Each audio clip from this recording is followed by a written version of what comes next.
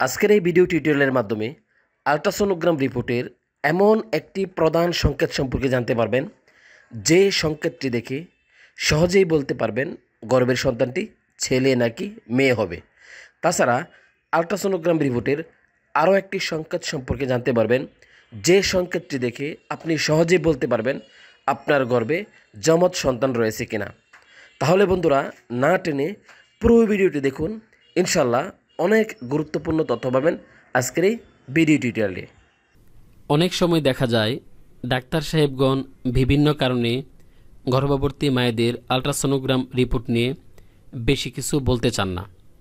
তাছাড়া যার আলট্রাসোনোগ্রাম করানো হয়, সেও ভয়ে ডাক্তার সাহেবকে কোনো কিছু জিজ্ঞেস করেন না।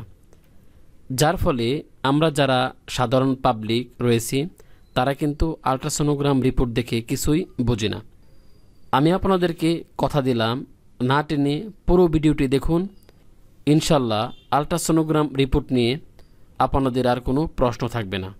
খুব সহজেই আপনারা গর্ভবতী মায়েদের যে কোনো ধরনের আলট্রাসোনোগ্রাম রিপোর্ট বুঝতে পারবেন। তাহলে চলুন আমরা সরাসরি আলট্রাসোনোগ্রাম রিপোর্টে চলে যাই। আজকে আমরা সূর্যের হাসি ক্লিনিকের একটি আলট্রাসোনোগ্রাম রিপোর্ট নিয়ে আলোচনা করব। আলট্রাসোনোগ্রাম রিপোর্টের প্রথমেই হাসপাতাল বা ক্লিনিকের নাম থাকবে। তারপর আলট্রাসোনোগ্রাম নামের একটি র থাকবে। তারপর অর্ডার আইডি, অর্থাৎ এখানে একটি সিরিয়াল নাম্বার থাকবে। নেম অফ পেশেন্ট, অর্থাৎ রোগীর নাম।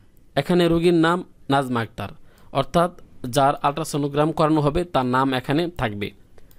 তারপর রেফার্ড বাই, অর্থাৎ যে ডক্টর আপনাকে আলট্রাসোনোগ্রাম করার জন্য পাঠিয়েছেন, তার নাম এবং পদবি এখানে থাকবে।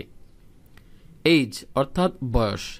যার আলট্রাসোনোগ্রাম করানো হয়েছে, তার বয়স এখানে থাকবে। এখানে বয়স টোয়েন্টি টু ইয়ার্স তারপর স্পেসিমেন এই স্পেসিমেন ইংরেজি শব্দটির অর্থ হচ্ছে নমুনা।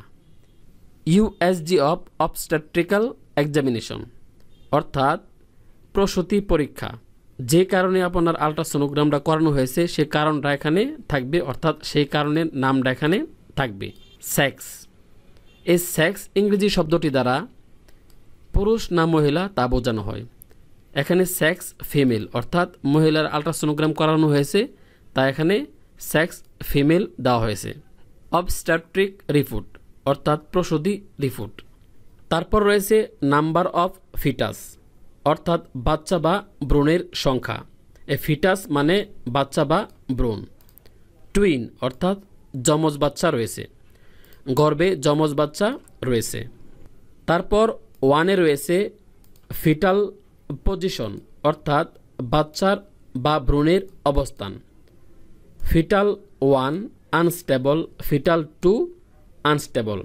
অর্থাৎ প্রথম বাচ্চাও আনস্টেবল পজিশনে রয়েছে, দ্বিতীয় বাচ্চাও আনস্টেবল পজিশনে রয়েছে। এখানে আনস্টেবল মানে হলো মুভিং পরিবর্তনশীল, অর্থাৎ নড়াচড়া অবস্থায় রয়েছে।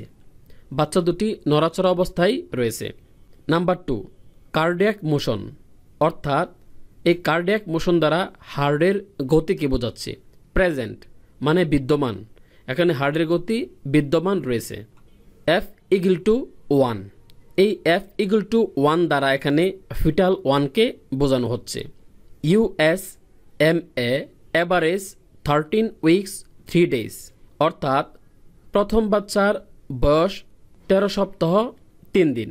ইডিডি এই ইডিডি ইংরেজি সংক্ষিপ্ত রূপটির পূর্ণরূপ হচ্ছে এক্সপেক্টেড ডেট অফ ডেলিভারি অর্থাৎ প্রথম বাচ্চার সম্ভাব্য ডেলিভারি তারিখ সাত এগারো দু একুশ।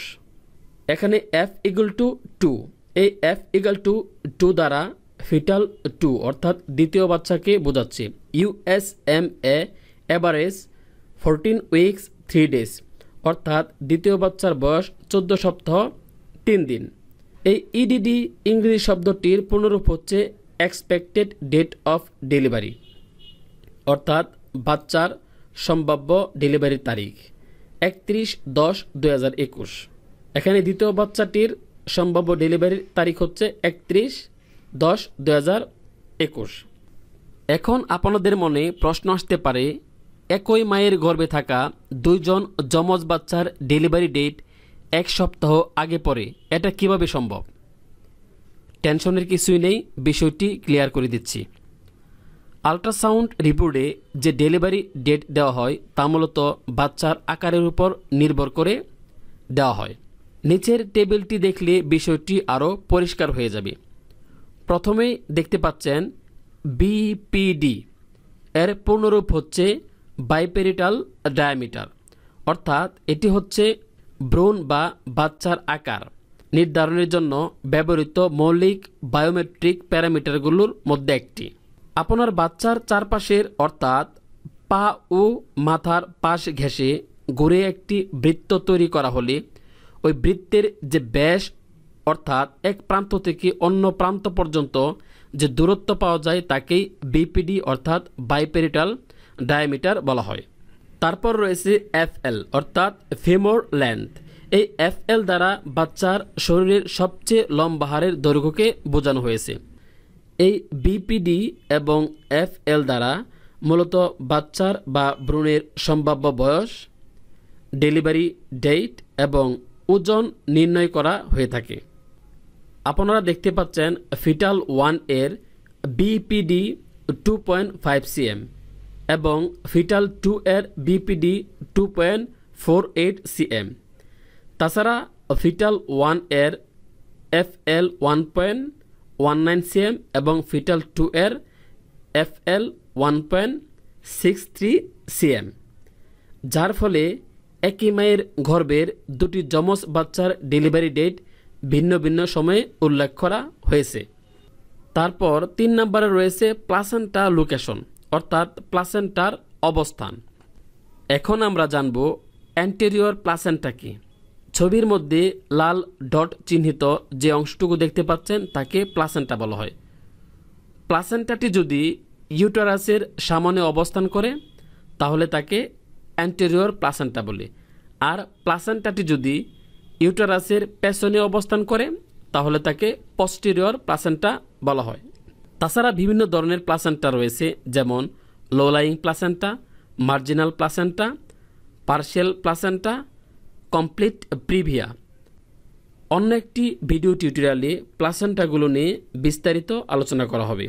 অর্থাৎ, কোন প্লাসেন্টার ক্ষেত্রে নর্মাল ডেলিভারি সম্ভব আর কোন প্লাসেন্টার ক্ষেত্রে নর্মাল ডেলিভারি সম্ভব না, ইত্যাদি নিয়ে বিস্তারিত আলোচনা করা হবে। তারপর চার নম্বরে রয়েছে প্লাসেন্টাল গ্রেড প্লাসেন্টা সাধারণত চারটি গ্রেডে হয়ে থাকে। সমস্ত প্লাসেন্টা গর্ভাবস্থার শুরুর দিকে জিরো গ্রেড দিয়ে শুরু হয়। সবচেয়ে অপরিপক্ক প্লাসেন্টার গ্রেড শূন্য থাকে, অর্থাৎ জিরো থাকে। সাধারণত বারো সপ্তাহের পর পরিবর্তনগুলো দেখা যায়। গর্ভাবস্থার অগ্রগতির সাথে সাথে প্লাসেন্টা পরিপক্ক হয় এবং গ্রেড বাড়তে থাকে। আমাদের এখানে জিরো লেখা আছে। কারণ মাত্র তেরো সপ্তাহ বয়সে এই আল্ট্রাসাউন্ড রিপোর্টটি করা হয়েছিল। তারপর রয়েছে প্লাসেন্টা প্রিভিয়া অ্যাবসেন্ট, অর্থাৎ প্লাসেন্টা প্রিভিয়া অনুপস্থিত বা নেই। এখন আমরা জানব প্লাসেন্টা প্রিভিয়া কাকে বলে। যদি গর্ভফুল বা প্লাসেন্টা দ্বারা জরায়ুর মুখ আংশিক দেখে থাকে, সেটাকে বলা হয় প্লাসেন্টা প্রিভিয়া। তারপর রয়েছে ফিটাল ওয়েট এই ফিটাল ওয়েট দ্বারা বাচ্চা বা ভ্রূণের ওজন কতটুকু হয়েছে তা বোঝানো হয়। যদিও এখানে ফিটাল ওয়েট এর ঘরটি ফাঁকা রয়েছে। তারপর সাত নম্বরে রয়েছে অ্যামনেটিক ফ্লুইড ইন্ডেক্স যাকে সংক্ষেপে এএফআই বলা হয়। এই অ্যামনেটিক ফ্লুইড ইন্ডেক্স দ্বারা গর্ভে তরলের পরিমাণকে বোঝানো হয়। আমাদের রিপোর্টে লেখা রয়েছে এডুকেট অর্থাৎ পর্যাপ্ত পরিমাণে অ্যামনেটিক ফ্লুইড রয়েছে। নর্মাল অ্যামনেটিক ফ্লুইড ইন্ডেক্স এর রেঞ্জ হল ফাইভ সিএম থেকে টোয়েন্টি ফাইভ সিএম। অর্থাৎ অ্যামনেটিক ফ্লুইড এর পরিমাণ যদি পাঁচ সেন্টিমিটার থেকে পঁচিশ সেন্টিমিটারের মধ্যে থাকে, তাহলে এটা স্বাভাবিক অবস্থায় রয়েছে, তা বোঝায়। তাহলে চলুন আমরা ছবির মধ্যে অ্যামনেটিক ফ্লুইড কি, তা এক নজরে দেখে নিই। আপনারা অ্যামনেটিক ফ্লুইড এর পিকচারটি দেখতে পাচ্ছেন। এই অংশটুকুকেই অ্যামনিওটিক ফ্লুইড বলা হয়। তাহলে চলুন আমরা আবার আমাদের আলট্রাসোনোগ্রাম রিপোর্টে চলে যাই।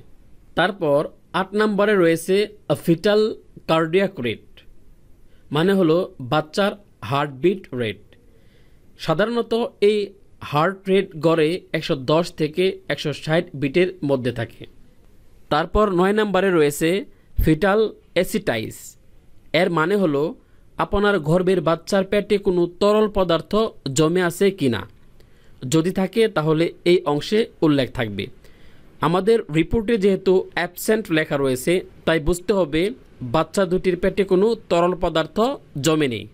তারপর দশ নম্বরে লেখা রয়েছে, আদার্স, নর্মাল, অর্থাৎ অন্যান্য কোনো সমস্যা থাকলে এখানে উল্লেখ থাকতো। যেহেতু আমাদের রিপোর্টে কোনো সমস্যা নেই কাজে এখানে নর্মাল লেখা রয়েছে। তারপর এগারো নম্বরে রয়েছে অ্যাসোসিয়েটেড ম্যাটারনাল অ্যাবনর্মালিটি অ্যাবসেন্ট অর্থাৎ আপনার বাচ্চার জেনেটিক বা অন্যান্য কোনো কারণে অ্যাবনর্মাল বা অস্বাভাবিক কোনো কিছু ধরা পড়ল কি না তা এখানে উল্লেখ থাকবে। তারপর সর্বশেষ যে অংশটি রয়েছে তা হলো কমেন্টস সেকশন এখানে কমেন্টস কমেন্টসে বলা রয়েছে, fetus one thirteen weeks three days plus minus one weeks of pregnancy having a living fetus with unstable presentation অর্থাৎ, প্রথম বাচ্চাটির বয়স তেরো সপ্তাহ তিন দিন প্লাস মাইনাস একদিন ভ্রূণ বা বাচ্চাটি জীবিত রয়েছে এবং মুভিং বা পরিবর্তনশীল অবস্থায় রয়েছে। অর্থাৎ, বাচ্চাটি নড়াচড়া করছে। ফিটাস টু, অর্থাৎ দ্বিতীয় বাচ্চা।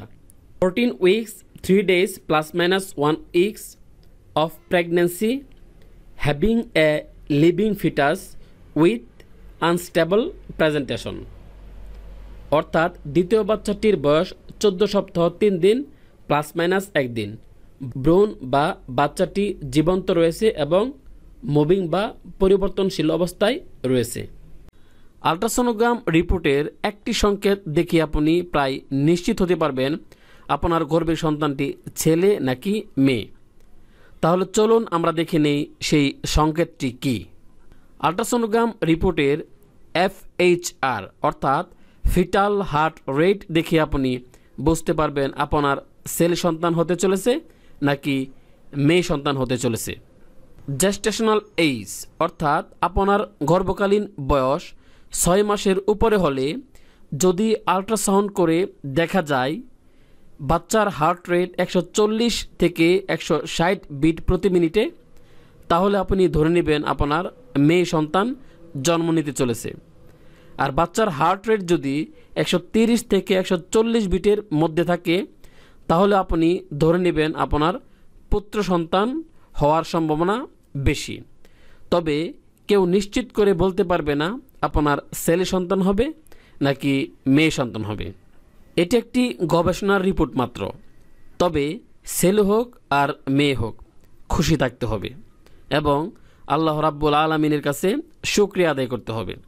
সবসময় একটি কথা চিন্তা করবেন, আপনার জন্য যাহা মঙ্গলজনক, তাই আল্লাহ রাব্বুল আলমিন আপনাকে দিয়েছেন। এখানে কারও কোনো হাত নেই। অন্ধকার গর্বে ছেলে সন্তান রয়েছে নাকি মেয়ে সন্তান রয়েছে তা শুধুমাত্র আল্লাহ রাব্বুল আলামিন সবচেয়ে ভালো জানেন। ছেলে হোক কিংবা মেয়ে হোক, তা নিয়ে মন খারাপ করা যাবে না। যা আপনার জন্য মঙ্গলজনক, আল্লাহ রাব্বুল আলামিন আপনাকে তাই দিয়েছেন। কাজেই কোনো অবস্থাতেই মন খারাপ করা যাবে না। ভিডিওটি যদি আপনাদের ভালো লেগে থাকে, তাহলে ভিডিওটিতে লাইক দিয়ে দিবেন, কমেন্টস করে আপনার মতামত জানাবেন এবং শেয়ার করে সবার মাঝে ছড়িয়ে দেবেন। পৃথিবীর সকল গর্ভবর্তী মা সুস্থ থাকুক, এই কামনায় আজকের মতো এখানে শেষ করলাম। আল্লাহ হাফেজ।